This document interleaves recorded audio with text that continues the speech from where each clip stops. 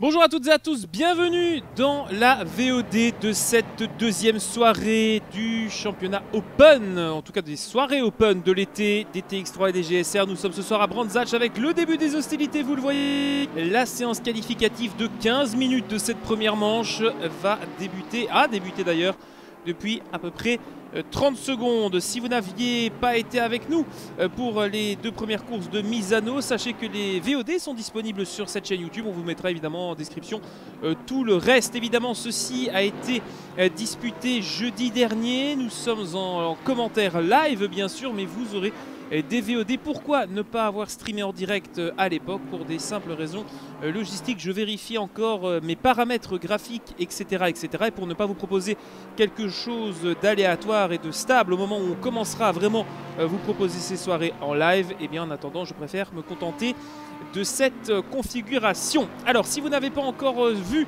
de course commentée sur Assetto Corsa Competizione, sachez donc que l'on est sur PC, que l'ensemble des joueurs évoluent au volant sur cette soirée, qu'ils sont chacun disponible pour euh, une écurie de leur choix.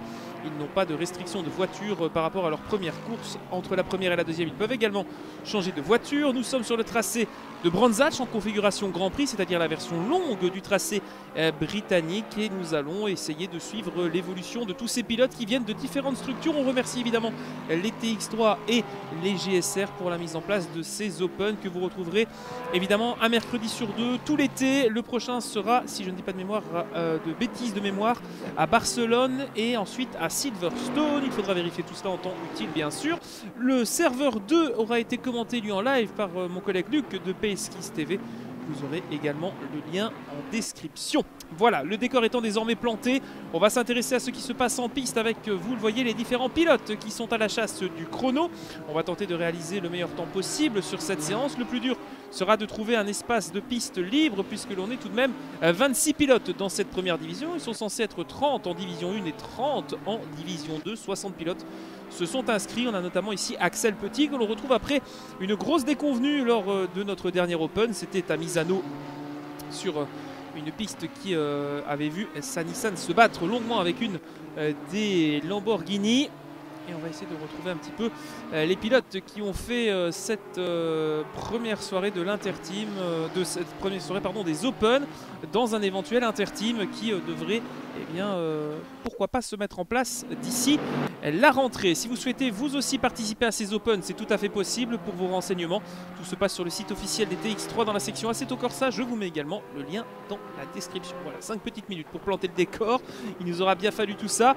désormais, on s'attaque eh bien, ce qui se passe en piste avec les premiers tours qui vont tomber. Les pilotes vont pouvoir signer leur chrono de qualification. On rappelle hein, cette première partie qui vous est diffusée en première sera eh bien, la qualification et la course 1. Plus tard, vous aurez la qualification et la course 2. Les premiers temps euh, tombent à l'heure actuelle avec, euh, vous le voyez, les pilotes qui sont en piste. Quasiment tout le monde est de sortie. Certains sont encore euh, dans les stands. On est avec ici l'une des Lamborghini. Quasiment toutes les marques sont représentées. Je ne sais pas s'il y a une McLaren en piste à vérifier. Mais euh, je sais que l'on a quasiment tout le monde hein, sur la liste. Ça, ça fait plaisir. Alors, au niveau des premiers pilotes à mettre un chrono euh, valable, on a un chrono d'une 23 745 pour la Lamborghini de Fusion. On retrouve Johan Oufela sur l'Audi de l'écurie Saint-Eloc, l'écurie française en deuxième position. Troisième pour Lucas sur la Porsche du euh, CUS Racing. Ensuite, la première Mercedes est d'une structure française AKASP en cinquième position. Juste devant, on retrouve la Bentley de Mathieu Marchand qui vient de signer à 1,24 468. Et les chronos qui continuent de tomber.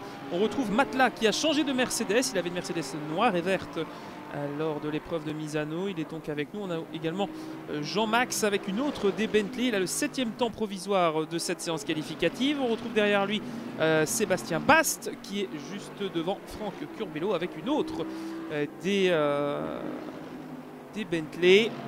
Et encore une Bentley juste derrière avec Arkeo qui se met 12e pour le moment. Devant, on a donc une Audi euh, WRT qui vient de se hisser au troisième rang avec euh, la voiture euh, d'Angers Chris, troisième avec l'Audi R8 numéro 2.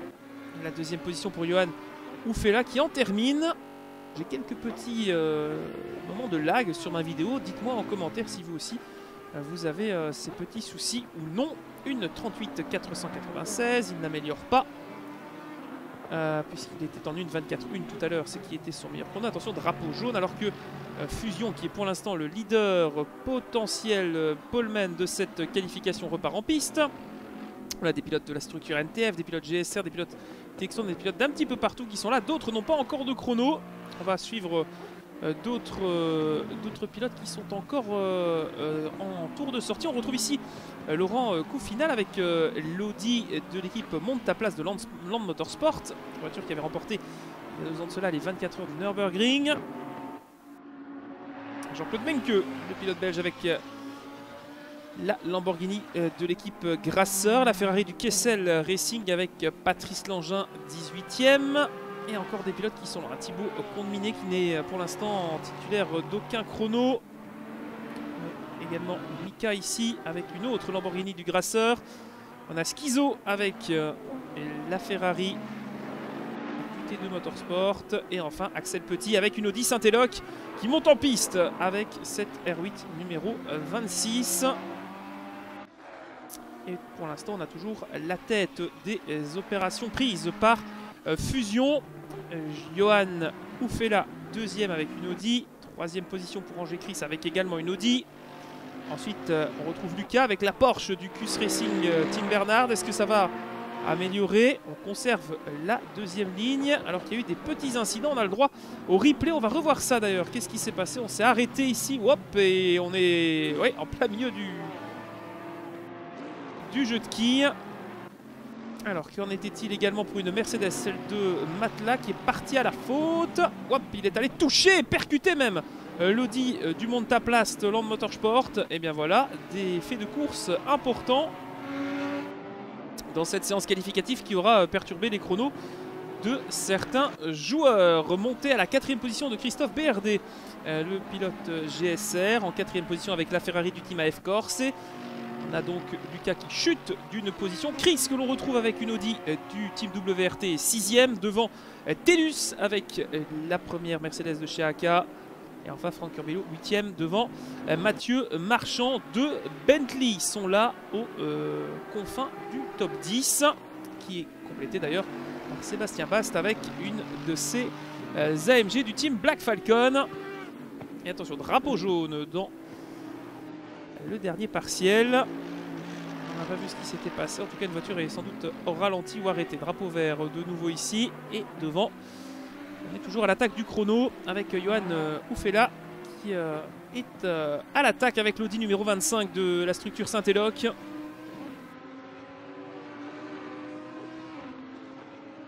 Et on vous rappelle évidemment que les décalques Pro Silver amateurs, qui sont donc noirs, blanches ou rouges, eh bien, correspondent parfaitement au niveau du pilote et non pas de la voiture. Donc vous pouvez par exemple trouver une Bentley officielle qui est normalement une voiture en catégorie pro, et eh bien en amateur parce que le rang du pilote en multijoueur est amateur. C'est un détail important. Avec, par exemple sur le classement euh, à gauche de votre écran, on n'a que des pilotes qui sont en, catégorie pro. On a un Silver, hein, Chris, qui est pour l'instant eh en troisième position. Troisième place pour lui. On va voir. Euh, d'ailleurs sa voiture passée. La voici, l'Audi WRT. Attention à des drapeaux bleus qui se présentent un petit peu euh, tout autour du circuit pour les différents pilotes. Et il va rester 6 minutes dans cette séance qualificative. Attention, beaucoup de trafic également. Alors, parmi les pilotes qui n'ont pas encore de chrono, eh bien, je peux vous dire que tout le monde est au moins titulaire euh, d'un tour. Avec euh, la voiture de Thibaut Condeminé ici. La Porsche qui est allée au large devant lui. Ce n'est pas la sienne, mais hop, plus que elle est allée taper cette voiture. Qui était-ce? On va sans doute revoir cela dans quelques instants si on nous propose l'accident. Alors que l'on a Bora Chir qui est ici.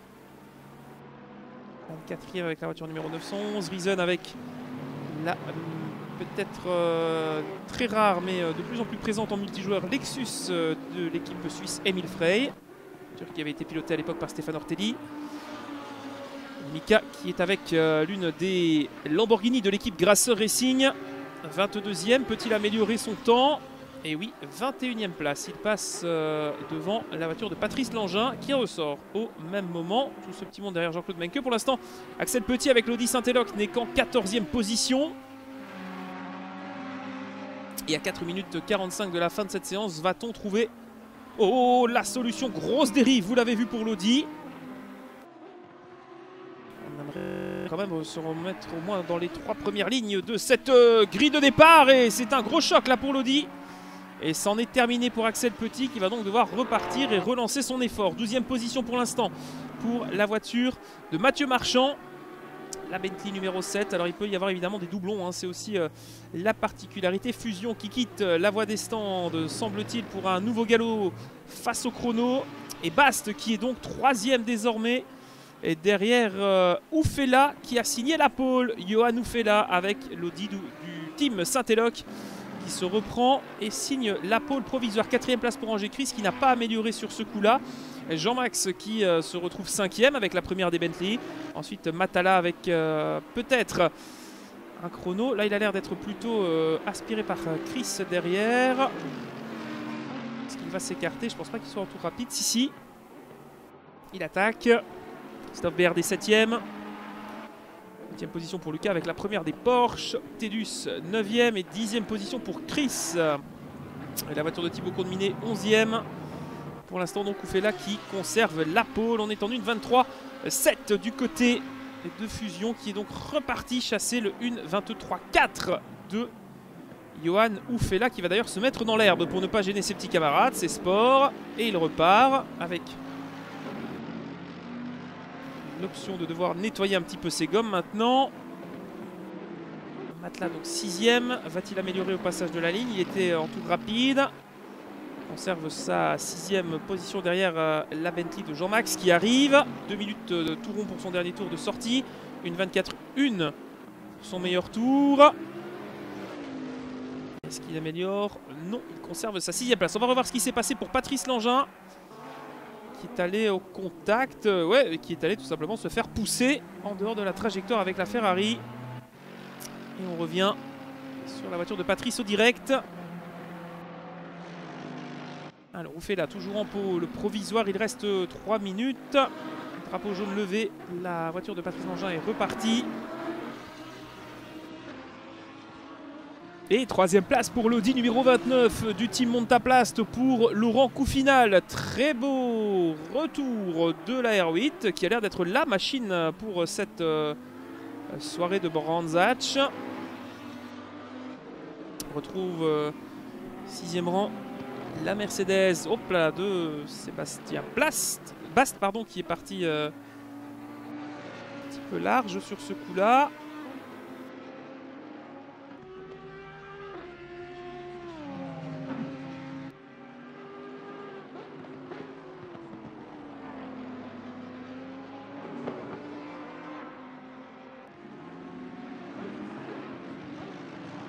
En a une Lexus qui est allée à la faute derrière. Vous l'avez vu.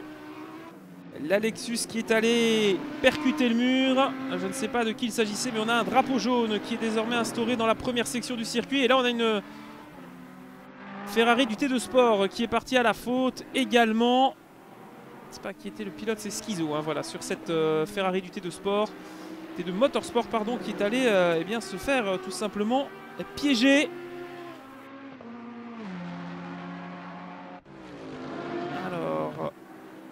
Qui reste 20ème pour l'instant. Toujours euh, Oufela en pôle. Il reste une minute. Donc on est dans le dernier tour pour quelques pilotes déjà. D'autres auront encore la possibilité d'améliorer une fois la séance terminée.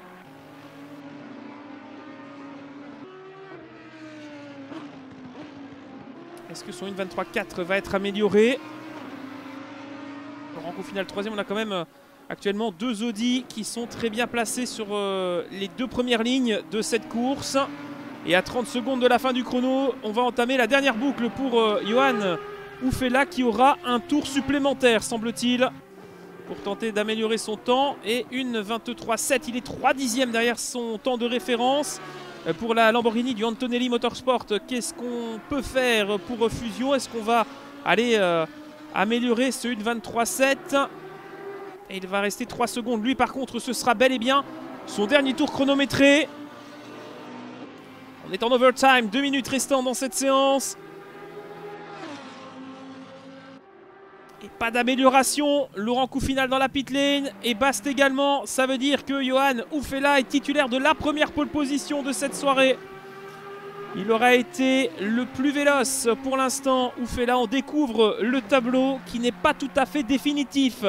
Euh, puisque d'autres pilotes sont encore en piste. On a donc la pole de Oufela sur l'Audi de chez Saint-Éloc en 1.23 445. Il aura mis 3 dixièmes à son 3 dixièmes tour d'ailleurs à son plus proche adversaire sur la Lamborghini du team Antonelli Motorsport. Derrière, Laurent Coufinal, Seb Bast, Chris, Angers Chris, Jean-Max, Chris BRD, Matla avec la Mercedes, Lucas complète le top 10 en. Ensuite, pardon, on retrouve Thibaut Condemini 12e, Franck Curbelo 13e, Axel Petit que 15e. Attention, la séance est loin d'être terminée avec ses overtime. D'autres peuvent encore venir euh, remettre tout cela dans le bon ordre. Et pas d'amélioration de la part de Johan Oufela dans sa dernière tentative. Et tout le monde est quasiment dans les stands. Axel Petit ici avec euh, l'Audi Saint-Éloc. On va le suivre. Hein. Lui qui a des grosses difficultés semble-t-il ce soir. Ça c'est à surveiller aussi hein, le rythme que va pouvoir adopter Axel Petit. Et la séance est terminée. On a donc les résultats définitifs de cette séance. On n'aura pas eu le temps d'aller signer un chrono pour euh, malheureusement Axel Petit qui va donc devoir en rester là. Dans 15 secondes, le départ de la première course de cet Open sur le circuit de Brands Nous avons sur la grille de départ 26 voitures. Ça va être particulièrement musclé dans la descente de Paddock Hill Bend sous le commandement de la R8 de Johan Oufella. Attention, il ne faut pas se rater parce que la, la lancée euh, des voitures est assez courte ici. Ça va, tout le monde a l'air de démarrer, on n'a pas de problème en tout cas pour les premières lignes. Il va falloir rattraper le peloton. Derrière, on a pris un petit peu euh, d'aisance. Le départ est lancé évidemment comme le veut la tradition dans ces catégories blanc-pain GT3. La tête euh, et la première ligne pour Oufela aux côtés de fusion sur la Lamborghini Antonelli qui va prendre le meilleur à la sortie de Druids? On le saura dans quelques instants. On est à la parade pour l'instant. Et c'est parti, drapeau vert avec un envol correct depuis la pole position de l'Audi qui plonge dans ce virage de Paddock. Parfaitement exécuté ce départ. Et derrière, tout le monde a l'air de très très bien s'en sortir. bien voilà, drapeau vert sur l'ensemble du circuit. Ça depuis l'hélicoptère qui euh, suit les pilotes dans le peloton. Derrière, c'est un peu plus serré. On le voit avec... Euh, euh, d'autres pilotes. Pas d'accrochage en ce début de course. Et on a par contre un Axel Petit, 16e, qui est allé très très calmement se positionner. On va passer dans la section Grand Prix du circuit de Brands Et on a perdu personne. Et c'est un petit miracle alors que devant, il y a de belles bagarres. Retour sur la tête de course avec toujours l'Audi de tête.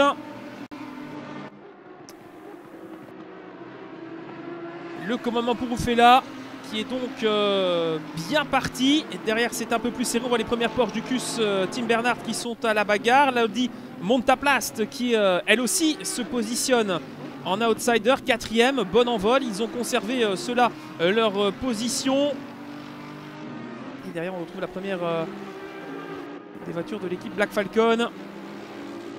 Et premier tour couvert en tête par la voiture de Johan Oufela avec une avance euh, de quelques dixièmes sur euh, ses plus proches poursuivants. Meilleur tour actuellement.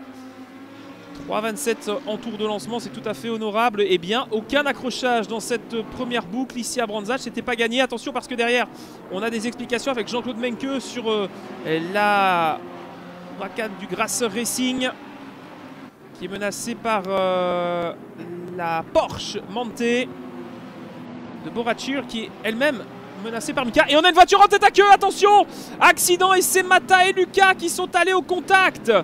Ouais, le tête à queue malheureusement pour la voiture de Lucas. Et Gigi également appliqué. Attention parce que derrière ça peut être créé une réaction en chaîne. Effectivement. Ah là là, et le contact ici, voilà, hop là, Lexus qui passe in extremis. Ouais, derrière ça a été particulièrement chaud dans cette histoire. Qu'en est-il derrière de la voiture euh, de Mika Un petit peu plus loin sur le circuit, également euh, prise dans un accrochage, semble-t-il. Bon, bon, bon. Et Axel Petit dans tout cela, on le voit avec euh, l'Audi Saint-Éloc, ouais, il passe. Oh, il est touché malheureusement. Aïe, aïe, aïe, Axel Petit touché dans cette mésaventure. Et eh bien voilà, on aura perdu plusieurs pilotes sur ces quelques accrochages. Esquizo également, un petit peu plus tard avec la Ferrari du T2 Motorsport. Et d'autres accrochages qui ont suivi. Attention, il y a Chir qui est impliqué dans un accident. Encore une fois, regardez la Porsche au contact ici. Et la Lamborghini qui est partie très au large. On a des, pilotes qui partent dans tous les sens là, dans ce euh, deuxième segment du peloton. Attention tout de même, alors que devant Oufela conserve son avantage par rapport à la voiture de fusion. Troisième place pour Tedus. Quatrième désormais Laurent Coufinal. Cinquième Bast avec euh, la voiture de chez Black Falcon qui est menacée par l'Audi d'Angers Chris avec qui on monte désormais en caméra embarquée.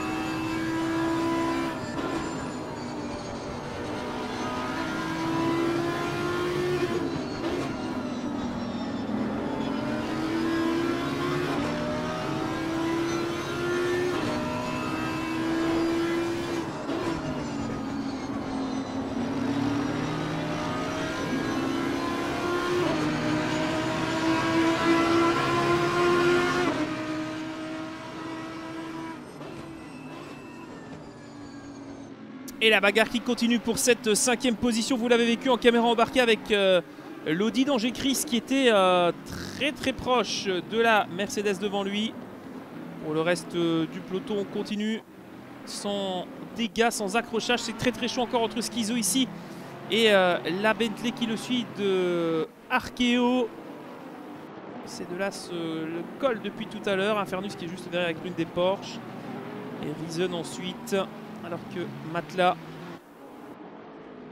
est 19ème après l'accrochage de Druids dont il a été victime.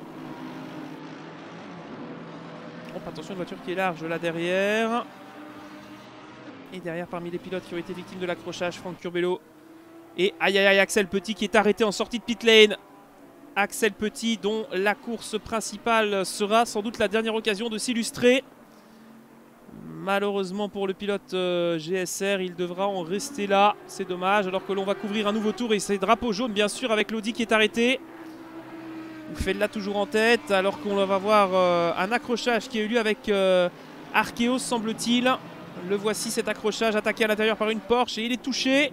Et la Bentley qui va légèrement partir en tête à queue. Heureusement, il a pu se récupérer. Si on retrouve les images du direct, il n'y a pas eu de changement. Ils ont conservé leur 16e place. Quoique, au moment où on retrouve L'image du direct, justement, la Porsche va pouvoir passer.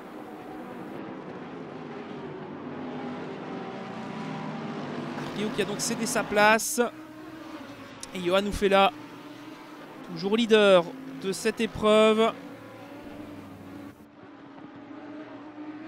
Et on est sur une section de drapeau jaune. Et je me demande si ce n'est pas toujours pour la voiture d'Axel Petit qui est toujours arrêtée dans la section de Paddock Hill. Sans doute un problème pour cette voiture euh, autre que le jeu. Peut-être qu'il ne parvient pas à, bouger.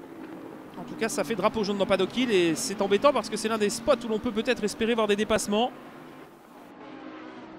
Mais bon, Axel, euh, s'il est bloqué là, c'est qu'il y a bien une raison tout à fait valable. Oh là, le, le pont qui enjambe le circuit qui nous a sauté au visage. Je pense que là c'est chaud. C'est très chaud avec l'une des Porsche. Et encore une fois, c'est Schizo qui se bat avec euh, une Fernus sur la Porsche. Et la Bentley qui est également proche. On est à bord de la Bentley d'Arkeo.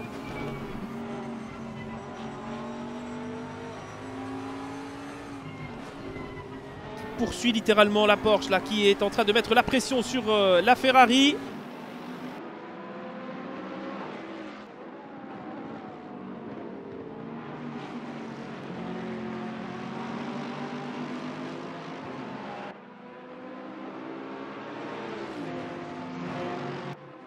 Attention, on a un accident derrière avec euh, la voiture euh, de Thibaut Combiné. Et de Baguisan, attention. Hop, euh, oui. C'est allé un petit peu au large pour la Ferrari. On va revoir ça en caméra embarquée. Qu'est-ce qui lui est arrivé Hop, et bien voilà, la poussette. La poussette, c'est aussi la course, comme dirait l'autre. Alors pour Infernus, qu'est-ce qui s'est passé Également un contact du côté du pilote euh, de la Porsche qui a été tout simplement mis dehors par euh, la Bentley dans l'épingle de Druids. Ça c'est pas très cool comme manœuvre. Il ne l'a pas attendu je crois avec la Bentley donc il est reparti. Ça se sera sans doute mentionné par la direction de course après euh, cette épreuve. Il reste 16 minutes. 16 minutes de course.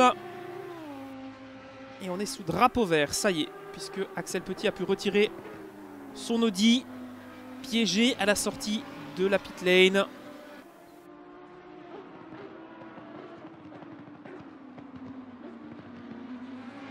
Johan donc toujours bien installé en tête. Si on retourne un peu plus loin, on a désormais la quatrième position de Laurent Coufinal qui est menacé par la voiture d'Angers Chris. Les deux R8 qui se battent. D'un côté la Montaplast, de l'autre côté la WRT. On a drapeau jaune encore une fois sur le circuit. Attention, c'est furtif, mais euh, le problème c'est que le drapeau jaune n'est pas mentionné dans le secteur précisément. Donc il y a sans doute un souci quelque part, mais ça peut être simplement une sortie de piste, un pilote au ralenti. Donc c'est pas forcément grave et on n'a pas forcément de replay de ce qui se passe. Alors que Laurent Coufinal maintient sa quatrième position, même si l'Audi derrière est de plus en plus euh, menaçante. Jean-Max qui est pour l'instant huitième devant Thibaut Courminet qui est pour l'instant 9ème devant la voiture de Marchand. La Bentley de Mathieu Marchand avec qui nous montons désormais en caméra embarquée. Une nouvelle fois à bord d'une des Bentley. Nouveau drapeau jaune levé. Alors on est bientôt au cap de la mi-parcours dans cette manche sprint. Il y en aura une principale qui sera proposée évidemment un petit peu plus tard. Hop, et on est large, on est très très large du côté de la Porsche.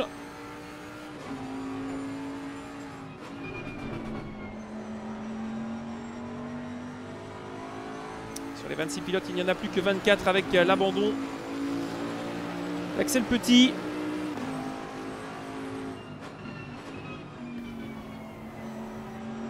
Et drapeau jaune puisqu'on a un accident avec Lucas, semble-t-il. Lucas qui est parti à la faute avec la Mercedes. Qu'est-ce qui s'est passé? Ils se sont accrochés avec euh, Kale, semble-t-il. Hop, non, il est allé percuter euh, la Lexus qui était totalement en perdition dans le troisième partiel. C'est important, on était en lutte euh, pour le top 10. On est avec la Bentley qui glisse dans l'herbe, qui va taper les Armco et qui est enfin percuté par la Porsche. Ah là là, quel dommage. Et c'est retour au stand pour lui. Et GG qui va donc mettre euh, du temps avant de repartir si jamais il parvient à repartir. Désormais, eh bien, ça fait trois pilotes dans les stands avec euh, la Porsche de Cheer qui est également arrêtée. Où est-il? Non, il est en piste pour Cheer, pardon. Désolé pour cette euh, petite erreur. Jean-Claude Menke, 20e avec la voiture numéro 19. On a Arkeo, toujours là. Un petit peu plus dans le peloton, on a Matla qui est remonté au 14e rang après euh, son accrochage à la sortie de Druids. Mathieu Marchand aux portes du top 10. Toujours conservé par Christophe euh, BRD.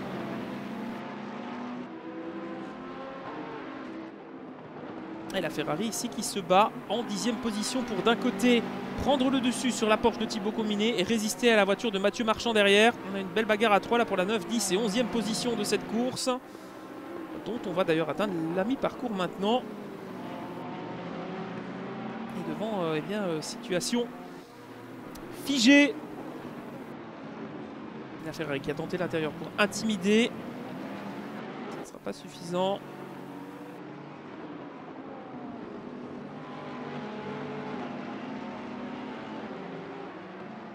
La pression de la Porsche qui augmente au fil des tours.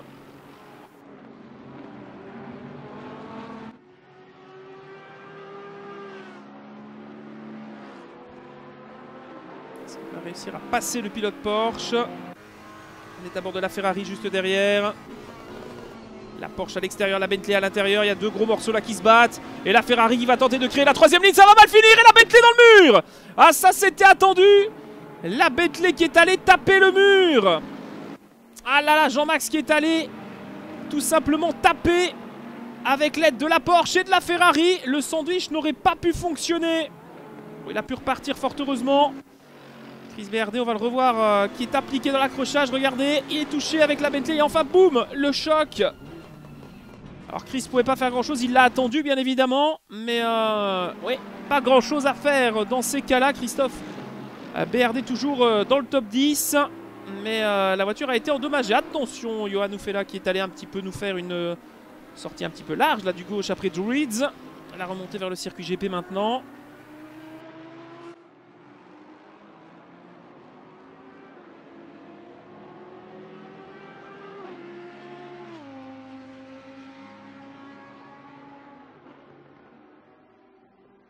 Effusion de la Lamborghini Antonelli. La Mercedes AK 3ème, 4 place pour l'Audi Montaplace qui résiste toujours. Hein. Cette équipe du Land Motorsport qui résiste à l'envahisseur belge.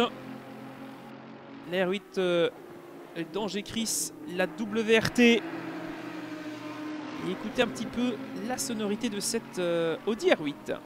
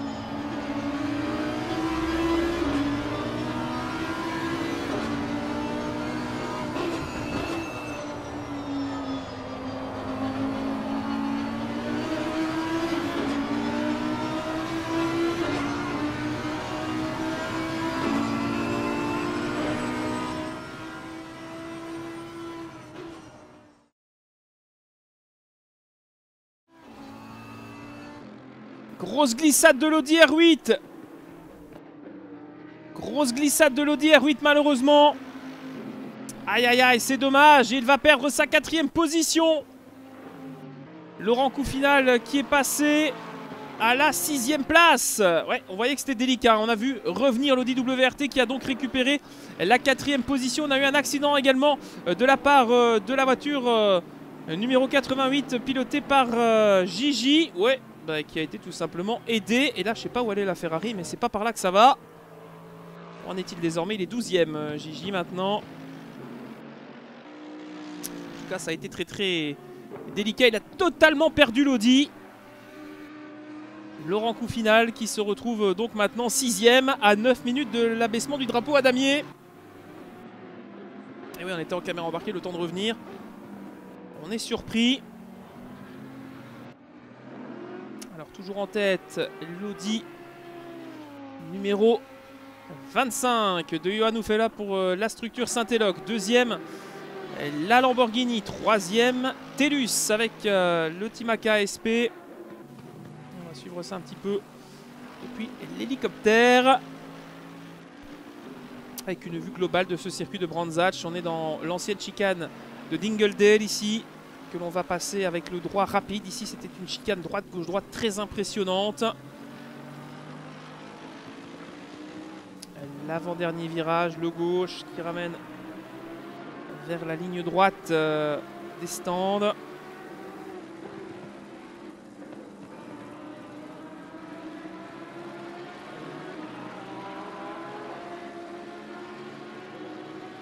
Et on va descendre dans Paddock Hill. On va faire ce tour entier en vue hélicoptère si vous le voulez bien. Après la descente de Padoki, la remontée vers l'épingle de Druids, du Druid si vous préférez. La descente euh, Graham Hill.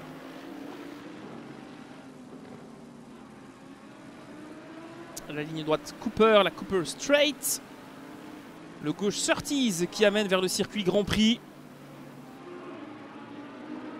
Entre dans la forêt avec la longue, longue ligne droite.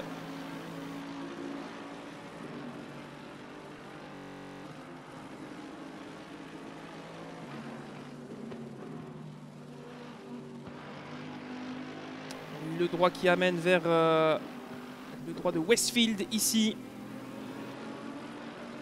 Et enfin, la remontée vers Dingledale dont je vous parler. Le petit gauche.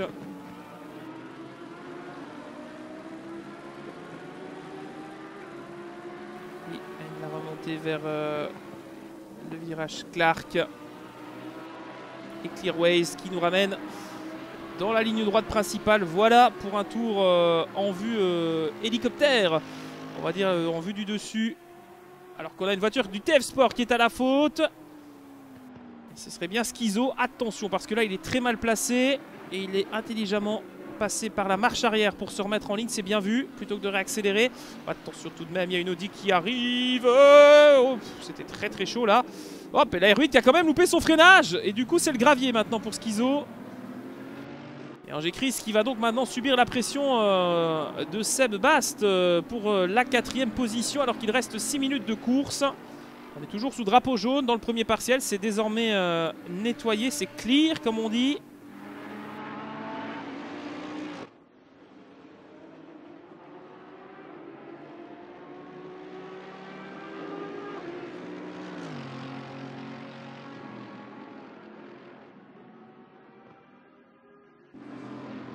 et la lutte pour la quatrième position qui est sans doute la, la plus importante pour l'instant.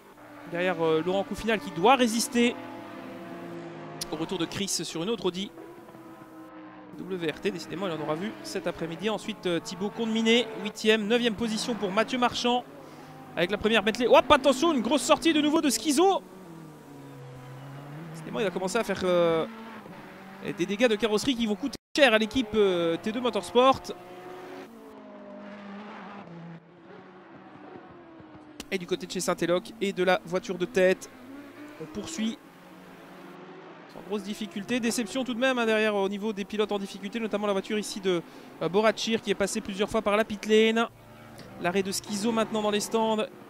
Et GG qui a été également ralenti. Reason avec notre Lexus qui repart maintenant bien en retard. Patrice Langin 19ème avec Jean-Claude Menke devant. Ces deux-là sont proches également. Ils se suivent. Un peu plus en avant, on a Arkeo et Franck Curbello qui se battent. Et Gigi, malgré ses mésaventures, se retrouve 12e derrière euh, la voiture de Matelas. Et le top 10 est complété pour l'instant par, euh, Lucas. Alors que devant, Seb Bast revient sur Angers Chris avec la R8. C'est euh, un duel intéressant pour cette quatrième position définitive.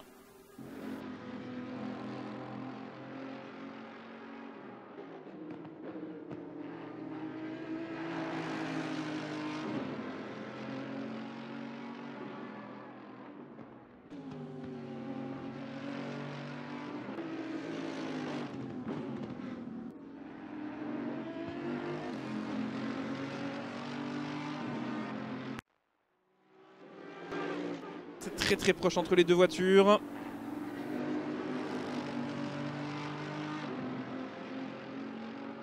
Il va rester 3 minutes 42 courses maintenant. On est donc à deux tours de l'arrivée. Les leaders qui ont déjà passé le transpondeur. Trois boucles potentiellement.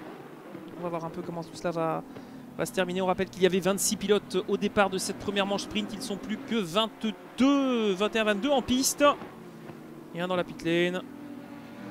pour le reste, euh, Johan là reste en tête. Deuxième position pour Fusion et la troisième place pour euh, Tedus. Mais Tedus revient très très fort avec euh, la machine de l'équipe AKSP.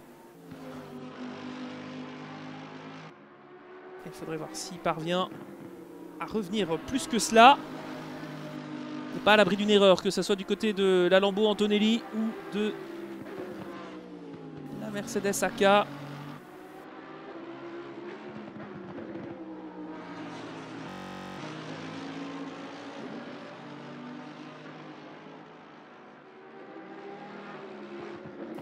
Gros duel pour cette deuxième position. reste 2 minutes 30 maintenant. Toujours euh, Oufela en tête, avec une belle avance sur ses poursuivants.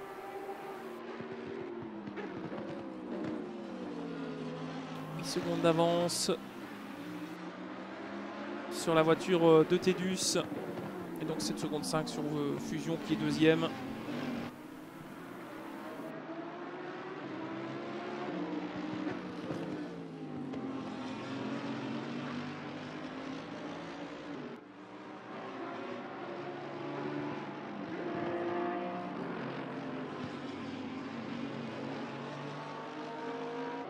Et le leader, le voici. Oufela qui est dans le trafic maintenant. À 1 minute 45 euh, de la fin de cette première manche sprint euh, de cette soirée sur euh, Bronze Hatch. Attention à ne pas être gêné, la Lamborghini qui s'écarte au drapeau bleu. Ça a bien été rappelé lors du briefing d'avant-course par notre ami Ludovic Mézier. Il faut absolument gérer les drapeaux bleus de manière fair play. pour l'instant, le message semble être bien passé. Il est rare d'avoir des problèmes à ce niveau-là. Et avec moins d'une minute 20 au chrono, on va sans doute rentrer dans le dernier tour. Voilà, dernière boucle confirmée pour la voiture de Johan Oufela. Qui aura donc mené parfaitement cette épreuve. Par contre, derrière pour la deuxième position, la Lamborghini Antonelli a encore euh, du pain sur la planche pour ramener cette deuxième euh, position définitive. Angers Chris également sous la menace de la voiture de Bast dans euh, la dernière section de ce circuit de Brands Hatch. ça va être serré pour euh, la 2 et la 4 place.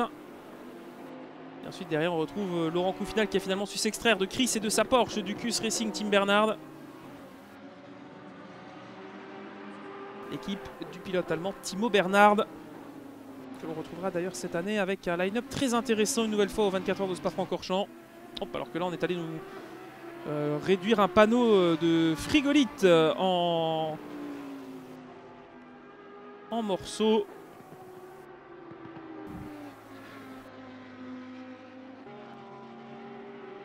Oh, puis on est sorti large derrière pour Fusion. Non, c'est une... Oh, c'est un retardataire. Oh là, j'ai eu très très peur, pardon.